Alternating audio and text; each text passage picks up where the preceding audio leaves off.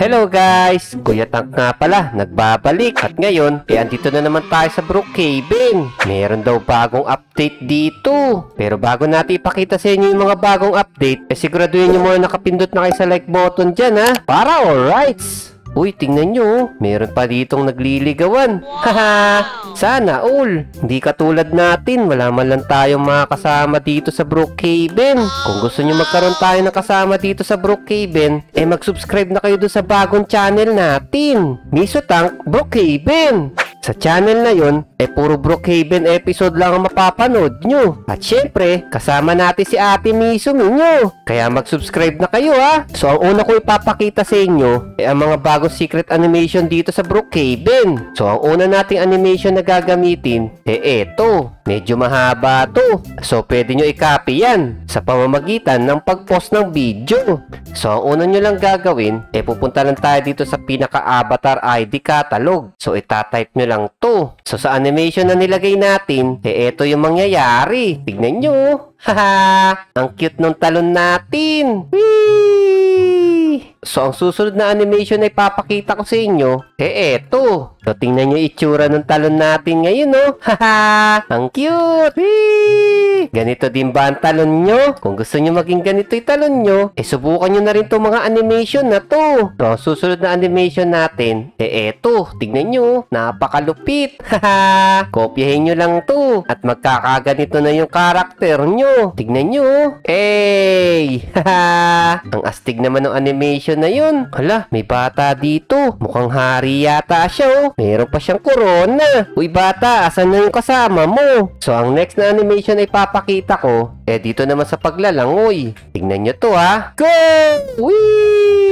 Haha! Tingnan nyo lumangoy si Kuya Tangko. Isang kamay lang. Ang lupit. Haha! Kung gusto nyo yung ganitong langoy, eh kopyahin nyo lang yung nilagay ko kanina. Haha! Magugulat yung kalaro nyo kapag kaganito yung langoy nyo. So eto guys, may papakita ako sa inyong bagong running animation. So ang itatype lang natin, eh eto. Tapos, tingnan nyo yung magiging takbo ni Kuya Tangka. Whee! Tignan nyo. Isang kamay nakasugod, yung isang kamay hindi. Umin. Bakit ganito yung takbo ko? Para ako sasali ng football. Dala-dala ko yung bola dito sa may kanang kamay. Ang galing, di ba? Kaya kung gusto nyo subukan yung mga animation na to, eh eto, ipopost ko dito.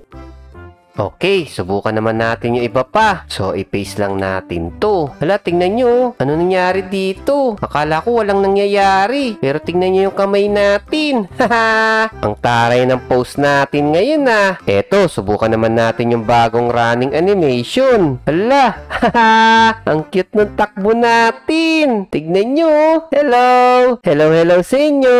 Tingnan nyo yung takbo ko. Hey, Rambo! Huwag kang mamaril dito. Masama yan.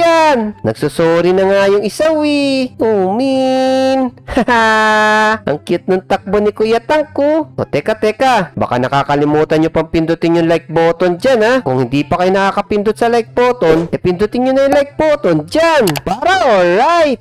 Haha. Ang cute oh. Siya nga pala. Meron pa nga palang bagong swim animation. Eto oh. Tingnan nyo kung paano lumangoy ngayon si Kuya Tangko. Wow! Swabing swabe yung paglangoy natin. Hindi katulad kanina, isang kamay lang yung ginagamit. Haha! Whee! Ang galing na natin lumangoy. Astig yung animation na to ah. O eto guys, eto pa isang bagong running animation. Tignan nyo ah. Ooh, astig nung takbo natin. Parang sa pelikula. Parang action star nang tumakbo si Kuya Tangko. Daig pa natin si Cardo Dalisay. So eto guys, panibagong post ulit natin. So itong animation naman na to, eh para sa AFK animation. Tingnan nyo, tinitingnan niya yung sapatos niya. Hindi katulad kanina. Para tayo nakapost kanina, wi. So ngayon, straight body na ulit si Kuya Tank. At eto pa isang pinakamalupit na animation, guys. So itatype nyo lang to. Tapos, enter. Tignan nyo ha kung paano tayong umakyat ngayon dito sa hagdan. Haha! Nakita nyo ba yun? Isa pa, isa pa. 1, 2, 3, go! Tingnan nyo, oh. Ang taas tumalon ni Kuya Tank. Para tayo palaka. At eto pa malupit. Panoorin nyo yung talon natin. Woo! Umiikot-ikot si Kuya Tank, oh. Ooh! Astig! Ala, ala, ala, ala, ala. Nakakahilo pala to. Umin. Eto pa, pinakamalupit, guys. Tignan nyo. Nagpro-floating si Kuya Tang. Kaya nyo ba to? Tingnan nyo, pinapanood nila tayo. Haha! Nagulat sila, nakalutang si Kuya Tank eh. Ang galing! At eto pa, tingnan nyo yung paglangoy ni Kuya Tank dito. Woo! Para tayo si Rena. Ang galing lumangoy ni Kuya Tank ko. Paiba-iba. Kanina, isang kamay. Ngayon naman, para tayo si Rena. Haha! Astig ng mga animation na to. Kaya kung gusto nyo rito subukan, eh eto, i-post nyo lang yung video. So, isa sa mga bagong update dito sa Brookhaven, eh naglagay sila ng tatlong bagong pier. Kaya tara, puntahan natin isa-isa. Let's go! So dito, dadaan lang kayo dito sa may gasolinahan. Tapos, diretsuin nyo lang tong tunnel na to. Eto, eto yung isa sa mga pier dito sa bagong update sa Brookhaven. Alright, so naglagay din sila dito ng parking lot. Kaya lang, bakit dito tayo nagparking? Haha, mali. Ayusin natin. Teka, teka, teka, teka. Gamitin natin tong parking space. Sayang naman, nag-update pa sila we. Tapos di natin gagamitin. Oo, pasensya na. Di pa tayo marunong mag-drive. Umin. Kaliwa, kaliwa, kaliwa. Alright. So, eto, nakapark na tayo na maayos. So, eto yung pier na sinasabi ko. Astig, di ba? So, dito, pwede na tayo magdagdag ng mga panibagong roleplay. Pwede rin dito mag-date. Kunyari, namimingwit lang kayo. O kaya, pwede rin tayo dito mag-roleplay. Kunwari, nakakilala tayo na si Rena. Haha! Kaya mag-subscribe na kayo doon sa Miso Tank Brookhaven ha. Marami kaming bagong kwento dun. Alright, ipapakita ko pa sa inyo yung dalawang bagong pier. So, mula dito sa unang pier, dedediretsuhin lang natin to. Tapos, kung pamilyar kayo dito sa may red barn, pwede rin kayong dumaan dito. Malapit lang dito yung isang pier. Ayun oh, natatanaw ko na yung isang pier. So dito lang tayo dadaan. So kapag nakita nyo na tong red barn na to, eh dediretsuhin nyo lang tong kalsada na to. Tapos, makikita nyo na yung pangalawang pier. Eto, pop, pop, pop, pop. May parking space din pala dito. Okay, magpark tayo ng maayos. Alright, andito na tayo sa pangalawang pier. So sa mga pier nga pala na to, eh eto, pwede kayo mag-spawn dito ng mga boat. Try natin. Subukan natin tong color red. Wow, astig.